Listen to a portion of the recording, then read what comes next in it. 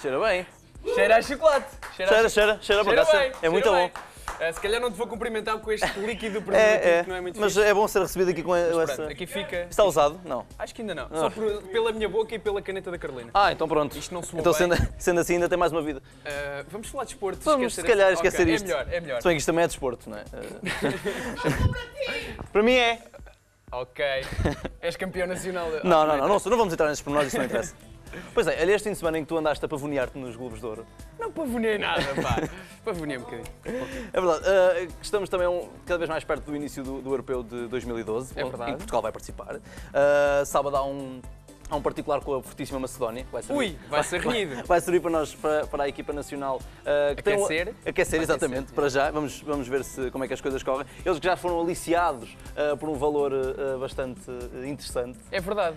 Se ganharem, se ganharem o campeonato, são 150 mil euros Para cada, cada um. para cada um, sim. É um Nada mal, nada mal. Eh, portanto- ah, estou aqui a defender a seleção e a cantar o Sim. hino, mas vou ganhar Sim, mas vou ganhar uma pipa de massa, sim. Ah, mas pronto, nós, se eles ganharem, nós ficamos contentes. E eles, curiosamente, Eles também. também. Ah, mas, mas lá está, enquanto tu estavas a, a espalhar todo o teu, o teu charme, o teu estilo Ah, isso no- sim, para pavonear soa mal, isso soa bem, isso soa bem. Nos Globos de Ouro, o teu Sporting não se portou bem, mais uma vez. Depois de uma época para, para esquecer, lá está. A equipa do, Não do Sporting, nada. na final da Taça de Portugal, no Jamor, ah, deu, ah, permitiu à Académica, ah, que já não ganhava o título, só tinha vencido uma Taça de Portugal e já não Está o ganhava o título há, 20, há 73 anos, aliás. Desde a primeira edição de. Exatamente, da foram os primeiros vencedores da taça, é engraçado. E vão ser os últimos, porque ah, eles sim, porque a taça vai acabar. taça. Exatamente, eles partiram a taça taça e não vai haver mais taça. foi muito bom. Foram os primeiros e os últimos. O gol do Marinho, que estávamos a ver há bocado, ahm, que tirou o único título possível- ainda possível ao Sporting Yeah. ah, e fechou a época com ah, chave de lata. Chave de ouro, o que é que é? Eh, não, não, é, não foi dor de certeza. Uh, só- eu quero fazer também um comentário. Uh, no final do jogo, o Sapinto teve uns comentários, na minha opinião, bastante tristes. Ele disse que uma equipa como o Sporting, com melhores jogadores, com uma equipa melhor, portanto, não, não podia perder com a Académica. Eu acho que é uma falta de respeito para com uma, uma instituição como a Académica, que tem muitos anos de história. Uh, portanto, pronto. Era escusado. Eu agora até gosto do Sapinto, mas acho que era escusado. Pronto. Não é propriamente simpático, mas não deixa de ser verdade. Sim, mas acho que dizer aquilo fica um bocadinho Sim, mal. sim, Acho não, não um é simpático dizê-lo. Mas o Sporting não mereceu, não mereceu mesmo Não, a ganhar. vitória, ah, eu não disse, a vitória foi inteiramente Eles- justa. Acho que a eles- vitória foi inteiramente justa. Ah, e a académica, claramente. Festa em Coimbra, mais um dia de queima A das fitas. Exato. A Académica jogou muito bem. E curiosamente, os jogadores sportinguistas da Académica. Jogaram bem, o, Adriano e o Cédric, jogaram muito está. bem. Jogaram e que provavelmente vão entrar na equipa para o ano, não sei se Espero bem que sim, Vão entrar na equipa para o ano e acho que é bom para o Sporting. São É dois portugueses, portanto, dois muito bons. Ah, Lembras-te lembras há, uns, há umas semanas, numa das primeiras centrais desportivas, centrais desportivas, várias centrais, ah, em- estávamos a falar aqui da competitividade do campeonato francês, não sei se tu te lembras. Sim, tu E o disseste que Montpellier- este ano estava sim, mais estava renhido. muito renhido. Ah, portanto, e o Paris Saint-Germain, depois de gastar para cima do Dinheirão, gastou muito, muito dinheiro, foi comprado por uns cataris. Tu não podes dizer Paris e depois Saint-Germain. Ou dizes Paris Saint-Germain. Paris Saint-Germain. Ou então dizes Exato. Paris Saint-Germain. Saint-Germain, exatamente. Sempre Paris Saint-Germain. Saint-Germain. Saint-Germain. Depois de gastar para cima um dinheirão, o Paris Saint-Germain ah, conseguiu não ganhar o campeonato. É verdade. Ah, o Montpellier, uma equipa que nunca tinha vencido ah, o- a Liga e foi fundada, é refundada, aliás, já existia antes, em 1974, ah, conseguiu, depois de vencer o Auxerre 2 a 1 fora, ah, co- conseguir o seu primeiro campeonato e vai para a Liga dos Campeões e foi uma grande malucos, festa. uma grande Isto- festa. Estamos a ver aqui também a festa. Este é Montpellier. E agora atenção ao, ao, ao psicadelismo da imagem que vai aparecer. Atenção, aí está. É. Quem é este senhor? Este senhor é o presidente Louis eh, eh, Nicolin. Ele tem. Ah, não é um papagaio Ele, qualquer ele tem mais anos que o clube, muito mais. Ah, mas ele é um presidente à antiga, faz lembrar muito. É uma pessoa muito terra a terra e, e com bastante carisma, com, e com psicadelismo no cabelo também, como se pode ver. Aquilo é- aquelas são as cores do clube. Ele chorou. Ah, exatamente. Ele, Fofinho. ele hum, é assim um, um Sousa Sintra à francesa. Estou a ver que sim. Ah, mobiliza as massas e claro, este é um, é um dos golos do John Utaka com que o Montpellier, com que o Montpellier conseguiu ganhar. Este está. E, e o, o presidente acabou por pintar o cabelo com as cores do clube. Acho bonito. Eu acho que até é original, porque normalmente quando esta- estas coisas acontecem a primeira vez, ah, ai vou rapar o cabelo, isso não tem piada nenhuma, vou rapar o cabelo. Mas ele pintou o cabelo cor laranja e azul, que é Sim. psicadélico. Um jogador da Académica que também cortou o cabelo na nuca. Já não me lembro qual era, quem era. A, a festejar a taça à vitória, ainda não. antes do jogo começar. A sério? Sim, que ent- ele entrou. Ah, então, mas o que é Já não, já não me lembro qual é o nome. também não me lembro. Entrou, que ele pi- pintou o cabelo, Pintou exatamente, pintou o cabelo. Lá está, mas como, como a mesmo assim- já sabia. Mesmo assim, meus caros amigos, eu acho que isto tem muito mais piada, pintar o cabelo azul Foi e cor laranja. E este senhor, é, este senhor parece-me tem carisma. Para além, é mais velho que o clube e mais pesado do que o clube. Sim, Tem mais sim, peso sim. do que o clube. Exato, o clube só tem uma taça, portanto.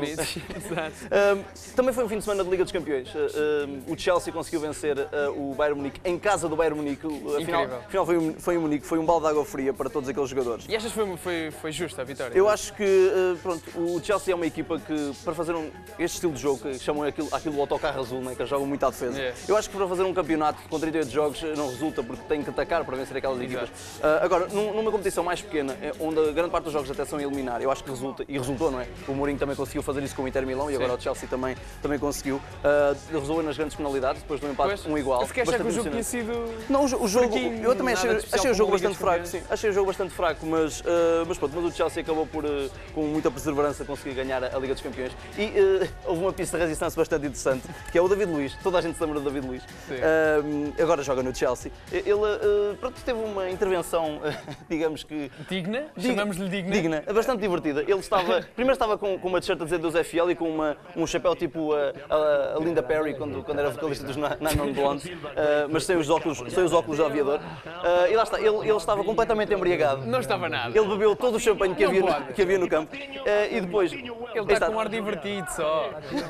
Ele, ele, ele mandou beijos e abraços para os seus colegas brasileiros da Itália, chamou o Patinho ao Pato. Eh, e, tam- e este está, aquele senhor que ali está, é o Arrigo Sacchi, eh, é um antigo defesa, defesa eh, italiano.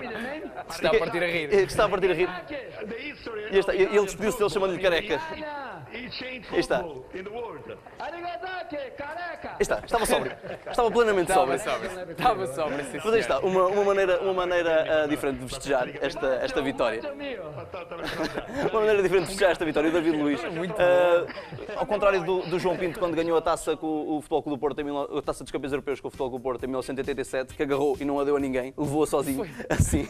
Ah, ninguém teve fotografias com a taça, só ele. Ah, o, o David Luiz deu a taça, mas agarrou nas garrafas de champanhe que ali estavam e, e embrocou-as todas. O João Pinto é a melhor história de sempre. Uma É. vez o Pinta Costa disse uma cena. Eu já não lembro em que jogo é que foi. Eu, eu, eu vi este relato, não vi o jogo.